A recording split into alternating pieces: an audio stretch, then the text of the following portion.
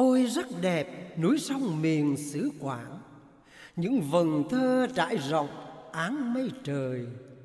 Như cánh diều bay bổng khắp trùng khơi Đang quyến rũ vẫy tay mời thưởng ngoạn.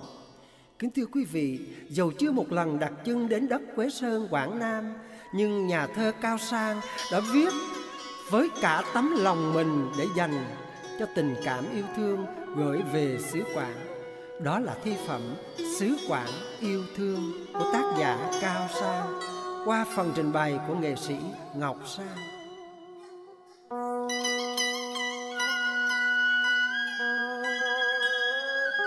À,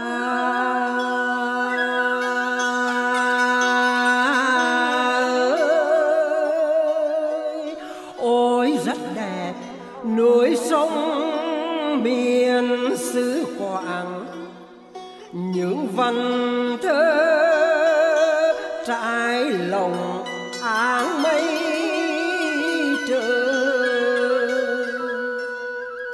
À ơi, như cánh diều bay bổng khắp trung khơi, đang quyến rũ vẫy tay mời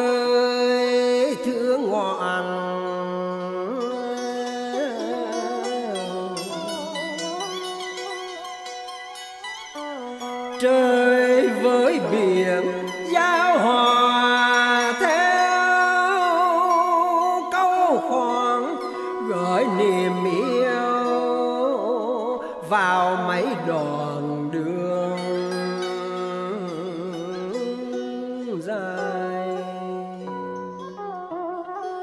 Quê sơn mình dáng rộng đón tương lai, con đường nhựa đã trải dài thẳng tắp tình bằng hữu, mừng vui ngày mới gặp chuyện đùa vui. Rộn rã khắp hội trường.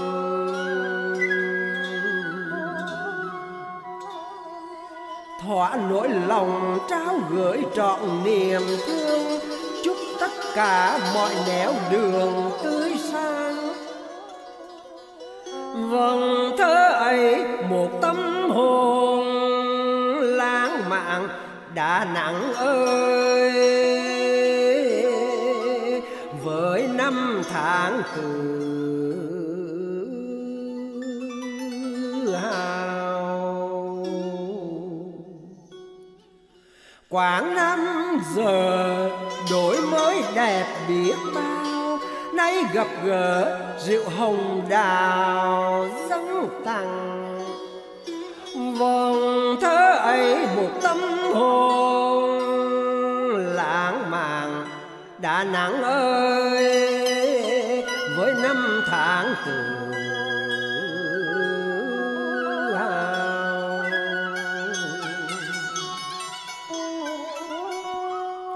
quảng nam giờ đổi mới đẹp biết bao nay gặp gỡ rượu hồng đào. Dâng tặng